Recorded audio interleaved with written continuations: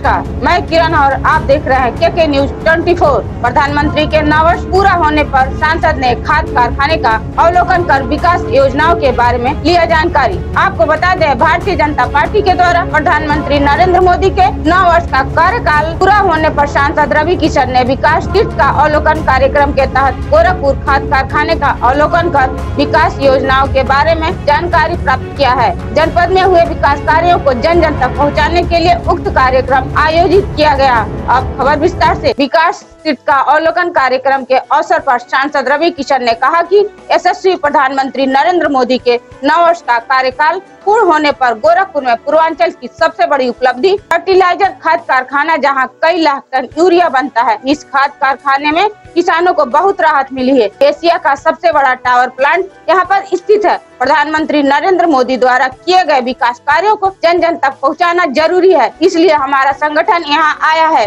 इस फर्टिलाइज़र खाद कारखाने के माध्यम से गरीबों का कल्याण हो रहा है। एवं हज़ारों लोगों को प्रत्यक्ष एवं अप्रत्यक्ष रूप से रोज़गार मिला है। देखिए गोरखपुर से प्रिंस श्रीवास्तव की एक खास रिपोर्ट। जी आपने का निरीक्षण किया क्या कहना चाहेंगे? मैं निरीक्षण नहीं किया हूँ मैं यशस्वी प्रधानमंत्री मोदी जी के 9 साल की उपलब्धि में हमारे गोरखपुर पूर्वांचल की सबसे बड़ी जो उपलब्धि थी फर्टिलाइज़र ये हमारे यशस्वी प्रधानमंत्री जी की सोच थी।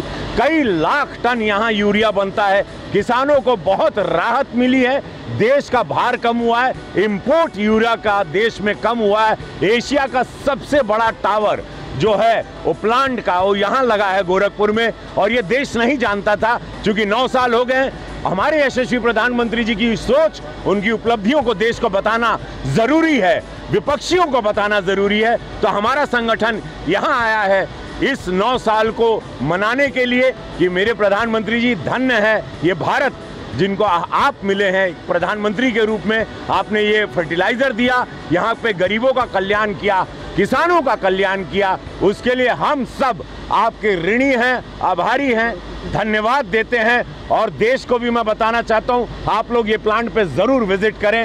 ये one of the kind amazing plant है, जो किसी ने कभी देखा नहीं होगा।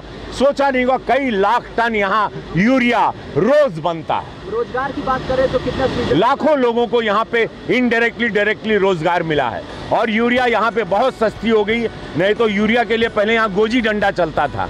वो सारी चीज़ें समाप्त की है इसका पूरा श्रेय यशस्वी प्रधानमंत्री मोदी जी को जाता है।